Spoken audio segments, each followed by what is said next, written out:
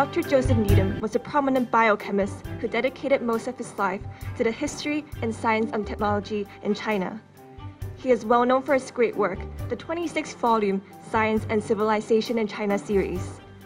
The exhibition features 11 banners with photos documenting Needham's first encounter with wartime China and his three universities in the Southwest. Let me uh, tell you a little bit about my own uh, encounter with uh, the name Joseph Needham. Uh, you know, I was a, a student of science uh, in a UST in the US. it's called Caltech? So it's uh, as UST as you can get. Uh, you know, the impression you have in those days is, uh, you know, basically all the modern science is Western. Right? It's, I think the, the sort of Asian in general science is sort of, we have no knowledge at all. Uh, I'm, well, because for someone coming from China, okay, Hong Kong, you know, of ethnic Chinese, we kind of have some vague idea that, you know, uh, Chinese invented many things in the old days, you know, gunpowder, compass. If all you have to do is look at that mural that we hand out as a gift. You know, you go to our mural, it has the pictures of all these inventions.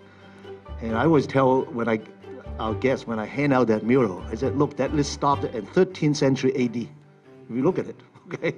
But a lot of things must have happened from 13th century AD to now. It's just that we don't know.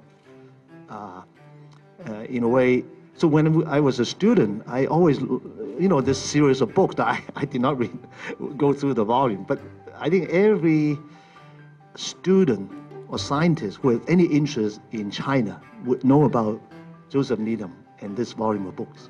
Okay, it's always one of these projects. If God, if I have time, you know, I would want to go through those volumes. It's just that it's a huge volume. Uh, I did not know that he was a biochemist. I knew that he was at Cambridge, right, if I remember. So we knew a little bit about him. So I'm particularly curious today. I, am going to go to your talk to uh, find out more. I think in a way, Needham is a legend, uh, not only because the quality of work that he does, but also I think the story of how he got into this. I read a little bit the abstract is interesting. But also in a way, uh, all scientists, especially in this part of the world, owe him a little bit, a lot actually, about he exposed, uh, you know, sort of the, the work that is done here uh, to the rest of the world. Uh, I think this is, especially in this globalized world, uh, he started this some time ago. Okay, so so I think this is uh, he was ahead of his time in a way. Can you imagine now with the internet, you know, and everything, he could have done a lot more in a way. Right? This 25 volume will be coming alive on the web, you know, with virtual reality and all that thing going on. Anyway, that's sort of my uh, personal uh, encounter with uh, Joseph Needham. But coming back to HKUST, uh, uh, I always tell the students, but I, I, was a little late because I was interviewed by uh, some of the graduates from this class, 2017. They want to interview me to say some encouraging words to the graduates.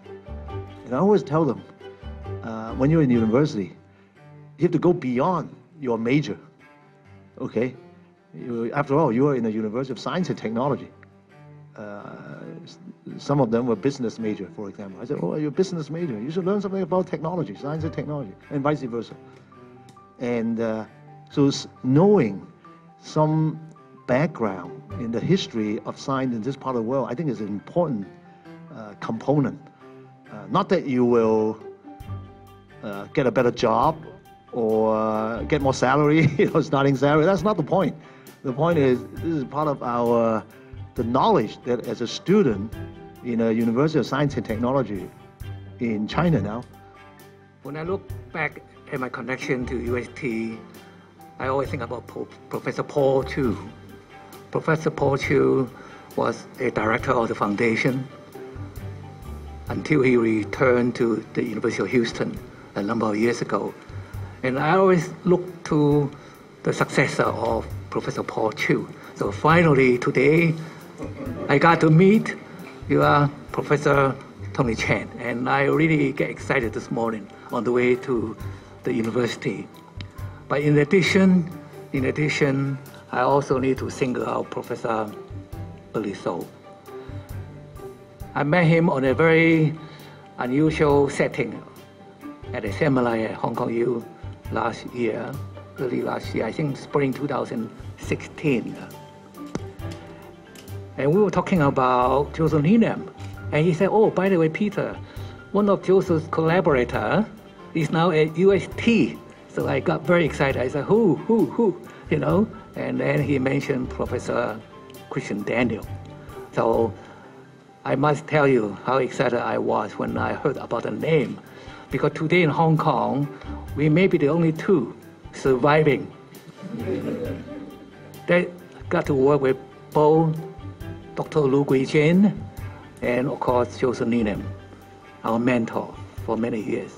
So as I look forward to our discussion uh, later this afternoon or at 2, 1 p.m., I will share my uh, personal encounter, personal experience in working with both important figures in the science and technology in China.